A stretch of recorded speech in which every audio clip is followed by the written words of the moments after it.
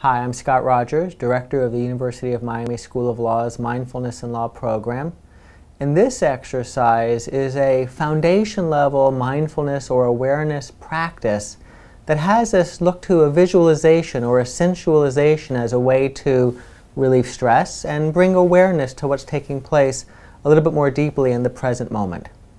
As with all of the uh, Jurisight mindfulness exercises, this is one of the learned hand exercises because we look to the judge learned hand who had that uh, capacity to be clear of mind and focused in the work that he did and bring a little bit of that into uh, this moment and this exercise. And so let's begin. This one is a, as I said, a visualization or a sensualization where we bring awareness into the senses. In this case, it'll be the three senses of sight, sound, and touch, and perhaps tone down a little bit of that chatter uh, running through the mind. And what's most important and what's sort of core to the mindfulness practice is that how is this happening? How might we be making this shift? Because you're choosing to do so. You're choosing to make this shift, to make this change. So we can begin by finding a, a, place to sit. If it's comfortable, terrific. If it's not so comfortable, that's okay. We bring ourselves with awareness into a seated posture. Uh, lower or close our eyes. And we can lower or close our eyes because it can be helpful for toning down some of the stimulation that feeds into this brain and into this visual cortex. So we lower or close our eyes. And if you would imagine before you uh, the bench of a judge, you're sitting behind the bench of a judge, perhaps even Judge Learned Hand's bench, sitting in a chair, bringing awareness to breathing, aware of the in breath, aware of the out breath, allowing breathing to be just as it is not trying to change it, but rather to notice the breathing that's happening in this moment.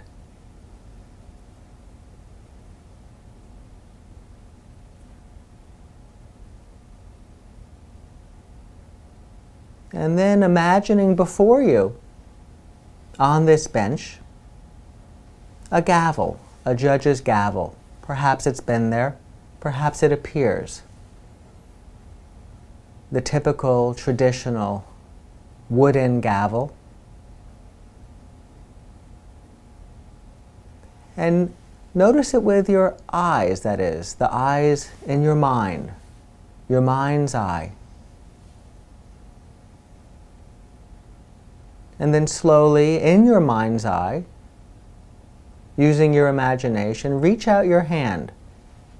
Say your right hand slowly aware of the movement of your hand as it reaches out and picks up the gavel, aware of the weight of the gavel, aware of how it is top heavy as you lift it up, as you breathe. Noticing and paying attention to the sensations in the hand and to a sense of the sight of this gavel. And then playing with it in terms of allowing it to move up and down as you play with the weight. Sizing it up, finding a balance point as you hold it. And then, when you're ready, having the gavel strike the table five times, listening if you're able to hear the sound of the gavel as it meets the top of the bench.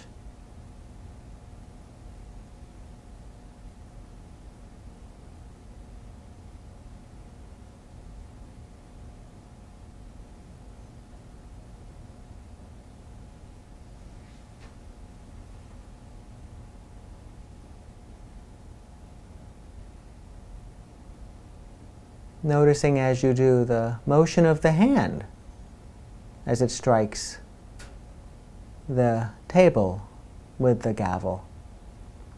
And then, aware of breathing, shift the gavel from one hand to the other so that now it resides in the other hand. And then do the same. Feel its weight, notice its top heaviness, adjust it so that you find a comfortable balance point in holding it as you breathe. See it in your mind's eye. We're exploring the senses here, and you'll find for yourself where the senses allow for a, a resonant experiencing of this and where it may not. So maybe it's sight and you can see it but not feel it. Maybe you can hear it. Maybe you can do all of those things a little bit or a lot. But you can know that you're doing this as you're doing it.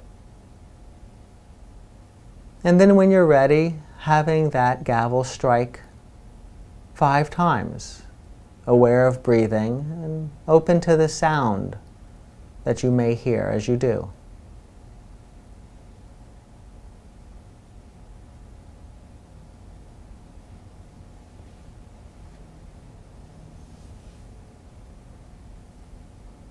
No rush.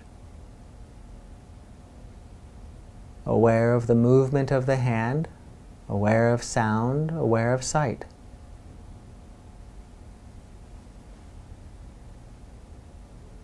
And then placing the gavel down on the top of the bench, bringing your hands, if you will, back to resting in your mind's eye where they are resting in this moment. And then, when you're ready, lifting your gaze or opening your eyes, aware of transitioning back to the sights before you, the sounds in your midst.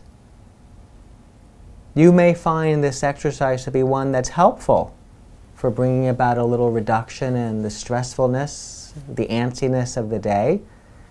To do this exercise requires that we make that deliberate shift from here to here allowing the breath to guide us through that exercise. And because it has this quality of allowing, perhaps, for there to be a more focused, concentrated awareness that we bring to the moments that follow, we call this particular learned hand exercise order in the cortex. Order in the cortex. I hope you find this exercise to be helpful and wish you all the best.